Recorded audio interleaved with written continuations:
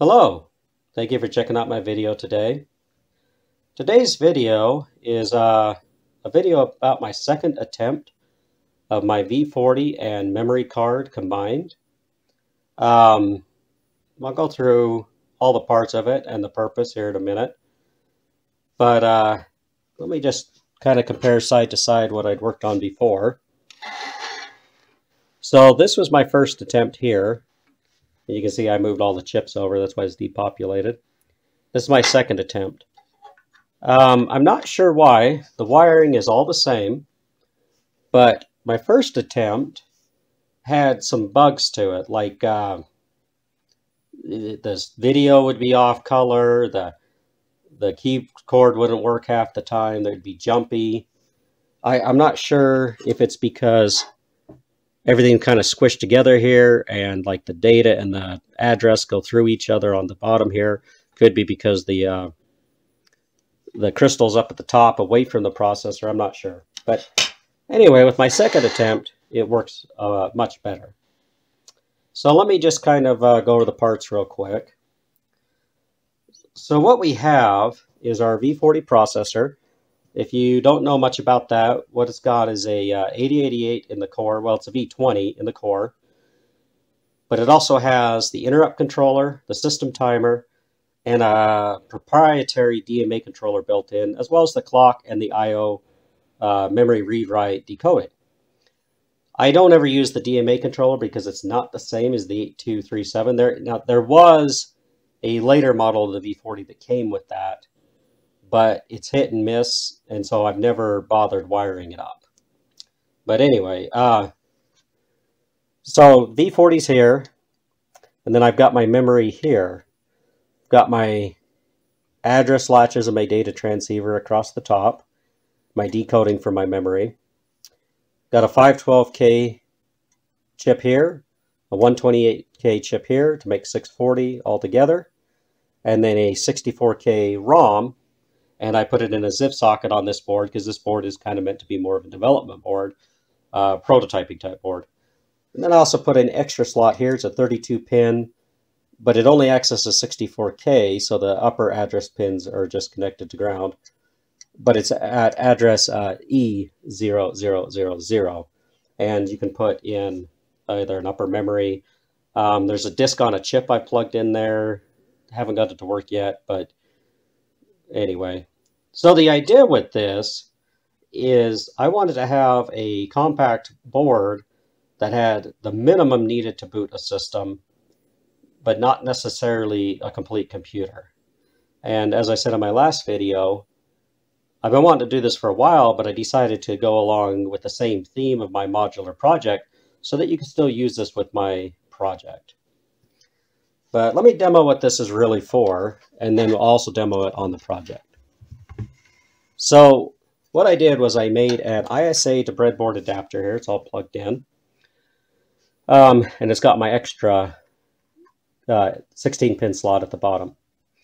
Um, there's some resistor arrays, capacitors on here. And what they do, uh, this res resistor array here, it's connected to ground, uh, holds the non-maskable interrupt pin, which is in the bottom corner here. And it holds the uh, hold pin down as well, which I want to say is the third pin down. The rest on this board, well, the rest on the left side are disconnected except, well, IRQ1 is the top corner here. Um, on my website, you can get the pin out for this. Um, so IRQ1 is connected to the um, to the card, and the non-maskable interrupt is connected. And so that's pulled down and your hold and hold acknowledge. And on this, I actually put the labels so you can see what they are. But there's also the, uh, let's see, so there's the ready, the reset, they're all in here. Then at the top, the other resistor, this is a pull-up resistor, and it goes to the IO read, IO write, uh, memory read, memory write, uh, the ready, and uh, let me look at my computer here, see if I've got what else it's on. Uh, the reset.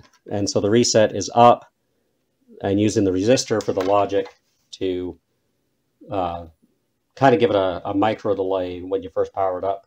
So that's just a reset. And then I put a USB-C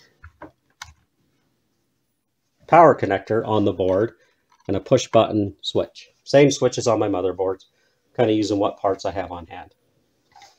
So the idea is that you can just plug in the card and so on the card, like I said, it's got the built-in um, interrupt controller and the system timer.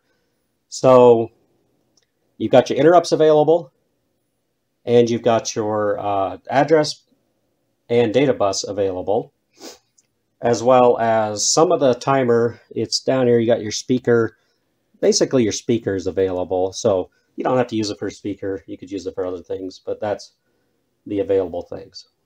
So let me power it up. Let's see if it works. I've got the, yep, so it's working. Um, it's just counting up on the lights there.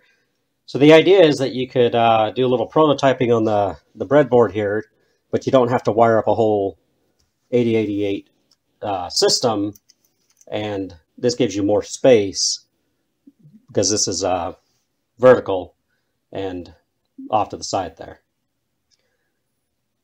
So anyway, um, I may go ahead and do an 8088 version of this. Uh, the, the modifications that I would have to do differently is uh, I'd, I'd have to add the interrupt controller and the system timer, obviously.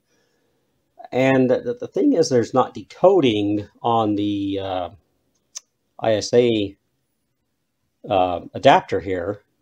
So I'd have to include the decoding on the board, most likely, which when I plug it into my main board, um, you'd be double decoding, which kind of adds more chips, more cost. So it's not impossible. It's just it's just more of that cost factor.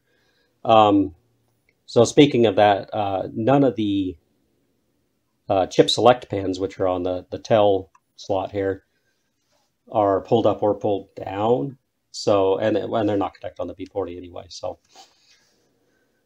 but yeah, so if I wanted the 8088, um, there'd be some other considerations to make. The V40 is definitely the most compact way to go. And the advantage is you do have 186 opcodes available on the V40, but 8088 is more authentic. Let's uh, I'll turn this off here and I'll demo it in the PC.